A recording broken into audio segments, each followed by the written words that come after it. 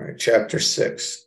The man we had left in the village to observe Emil joined us here and reported that he had conversed with Emil until nearly four o'clock of the day he was to keep his appointment with us. Then Emil said he was about to keep his appointment.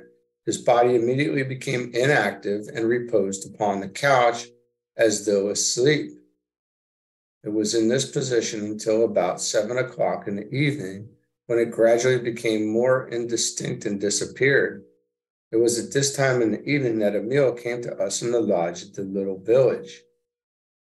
We had made a number of short trips from our headquarters with either Jast or Neprow accompanying us, and in every instance, they had shown their sterling qualities and worth. On one of these trips, Emil, Jast, and Neprow accompanied us to the village where a temple called the Silence Temple, the temple not made by hands, is located. This village contains the temple and the houses of the attendants and is located on the former site of a village that had been nearly destroyed by the ravages of wild animals and pestilence. We were told that the masters visited this spot and found a few inhabitants left of about 3,000 population. They ministered to them, and the ravages of the wild animals and pestilence ceased. A few villagers vowed that if they were spared, they would, from that time on, devote their lives to God, serving Him in any way He chose. The masters left, and when they returned later, they found the temple erected and attendants in charge. The temple is very beautiful, situated on an elevation overlooking a wide expanse of country. It is about 6,000 years old, is made of white marble, and has never needed repairs as a piece chipped off replaces itself, as was proven by members of our party. Emil said, This is called the Temple of Silence, the place of power. Silence is power, for when we reach the place of silence in mind, we have reached the place of power, the place where all is one, the one power, God. Um, be still and know that I am God. Diffused power is noise. Concentrated power is silence. When through concentration, drawing to a center, we have brought all our forces into one point of force we have contacted God in silence.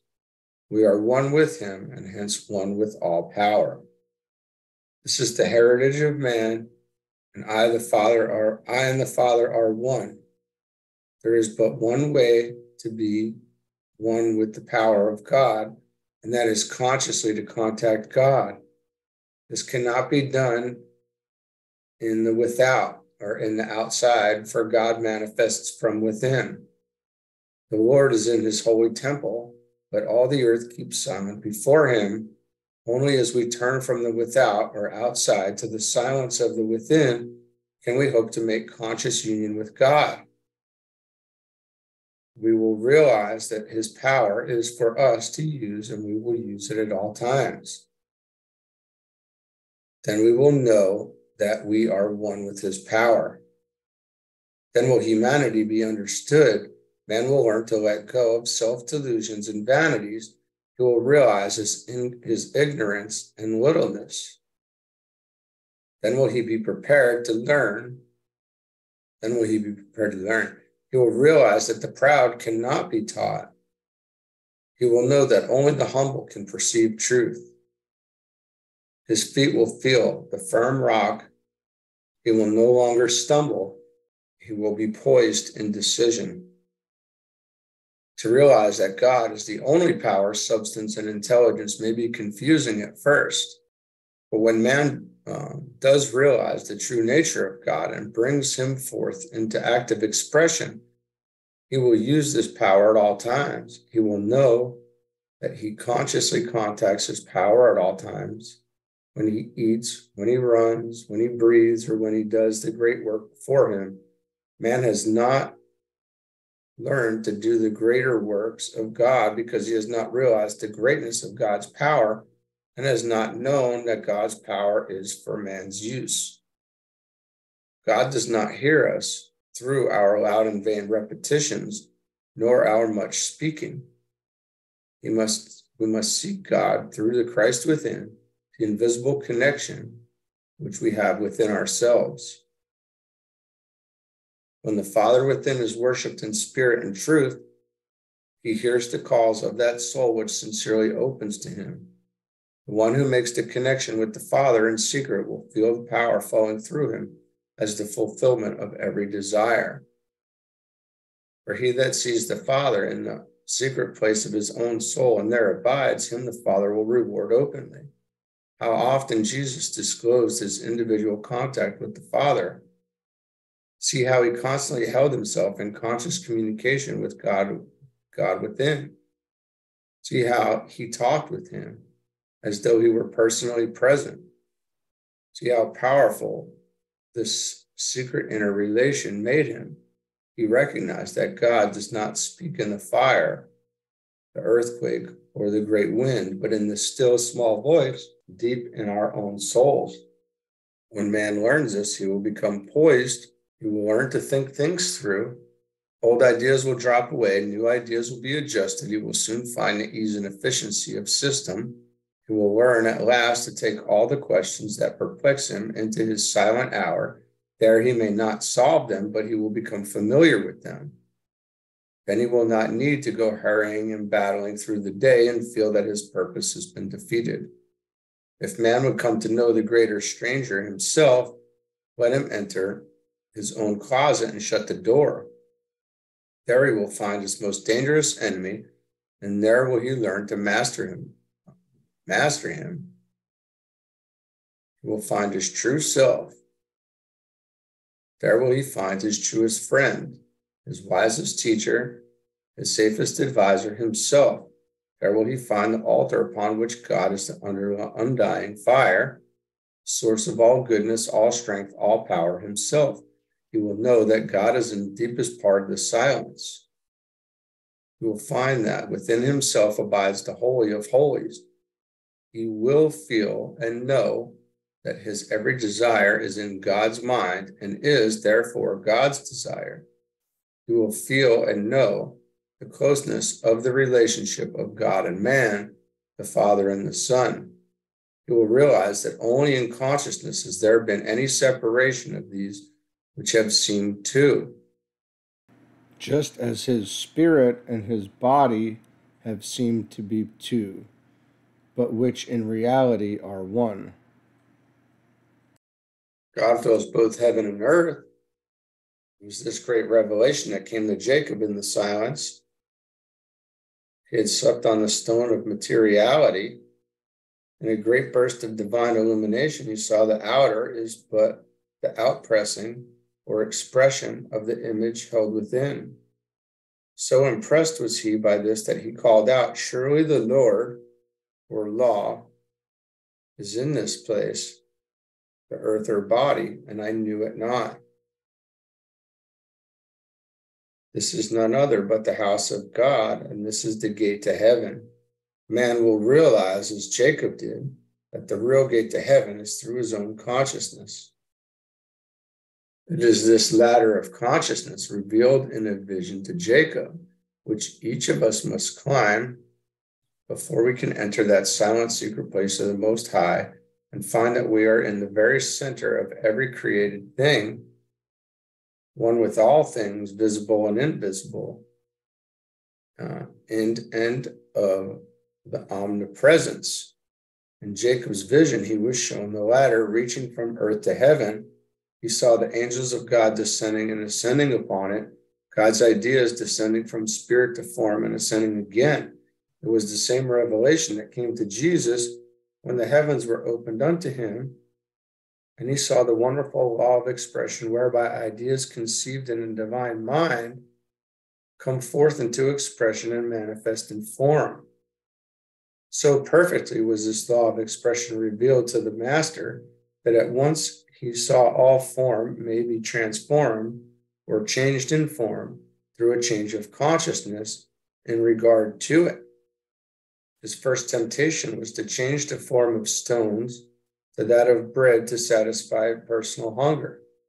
But with the revelation of this law of expression came the true understanding that stones, as well as all other visible forms, have come forth from the universal mind, substance, God, and are in themselves true expressions of divine mind. And all things desired, not formed, are still in this universal mind substance, ready to be created and brought forth to fill every desire. Thus, the need for bread but show that the substance with which to create bread or any other needed thing is at hand without limitation, and bread can be created from this substance just as well as stones can be created therefrom. Every good desire man has is God's desire. Therefore, there is an unlimited supply of the universal God substance all about us to fill every desire. All we need to do is to learn to use what God has already created for us, and this He wills to have us do that we may be free from every limitation and thus be abundantly free. When Jesus said, I am the door, he meant that he meant that the I am in each soul is the door through which the life, power, and substance of the great I am, which is God, comes forth into expression through the individual. This I am has but one mode of expression, and that is through idea, thought, word, and act. This I am, God being, which is power, substance, intelligence, is given form by consciousness. And for this reason, the Master said, According to your faith be it unto you, and all things are possible to them that believe. Now we see that God is within the soul as power, substance, and intelligence, or in spiritual terms, wisdom, love, and truth. And is brought out into form or expression through consciousness. The consciousness which is in the infinite mind of God and in man is determined by the concept or belief that is held in mind. It is the belief in separation from spirit that has caused our forms to age and die. When we see that spirit is all and that form is constantly being expressed from spirit, then shall we understand that that which is born of our of, or brought out of spirit is spirit. So the next great truth to be revealed through his consciousness is that each individual, being a concept of the divine mind, is held in that mind as a perfect idea. Not one of us has to conceive himself. We have been perfectly conceived and are always held in the perfect mind of God as perfect beings. By having this uh, realization brought to our consciousness, we can contact the divine mind and so reconceive what God has already conceived for us. This is what Jesus called being born again. It is the great gift the silence has to offer us. For by contacting the God mind, we can think with the God mind and know ourselves as we are in reality, rather than as we thought ourselves to be. We contact God mind through, through true thought and so bring forth a true expression. Whereas in the past, perhaps through untrue thought, we have brought forth an untrue expression. But whether the form be perfect or imperfect, the being of the form is perfect God power, substance, and intelligence. It is not the being of the form that we wish to change, but the form that being has assumed. This is to be done through the renewing of the mind or through the change from the imperfect to the perfect concept from the thought of man to the thought of God. How important then to find God, to contact Him, to be one with Him, and to bring Him forth into expression. How equally important is the silence or the stilling of the personal mind, that the God mind in all its splendor may illumine the consciousness. When it does, and we shall understand how the Son of the right Son of Righteousness shall, shall rise with healing in his wings. The mind of God floods consciousness as sunshine floods a darkened room. The infusion of the universal mind into the personal mind is like the entrance of the vastness of the outside air into the impurity of that which has long been held in some close compartment. It stands alone, supreme, and we realize that we are to build but one temple. The temple of the living God is the blending of the greater with the lesser, through which the lesser becomes one with the greater. The impurity was caused by the separation of the lesser from the greater. The purity is caused by their union, so that no longer is there a greater and a lesser, but just the one good, whole, pure air. Even so must we know that God is one, and all things visible and invisible are one with him. It is separation from him that has caused sin, sickness, poverty, and death. It is union with him that causes one to become a whole being or to become conscious of being whole. The separation from unity is the descent of the angels on the ladder of consciousness. The return to unity is the ascent of the angels upon the ladder. The descent is good, for unity then becomes expressed in diversity, but in diversity there need be no concept of separation. That which is diversity has been misconceived from the personal or external viewpoint to be separation. The great work for each soul is to lift the personal viewpoint to such heights in consciousness that it becomes one with the whole. When all can meet with one accord in one place, that place in consciousness where it is understood that all things visible and invisible have their origin in the one God, then we stand upon the Mount of Transfiguration. At first, we see Jesus, and with him Moses and Elijah, or Elias, or law and prophecy, and the Christ, the power within man to know God. And we think to build three temples, but the deeper meaning comes. We are given to realize the immortality of man, to know that divinity is never lost, that divine man is deathless, eternal. Then Moses, the law, and Elias, the prophecy, disappear, and the Christ stands alone, supreme. And we realize that we have to build but one temple, the temple of the living God within our very selves. Then the Holy Spirit fills the consciousness, and the sense of delusions of sin, sickness, poverty, and death become no more. This is the great purpose of the silence.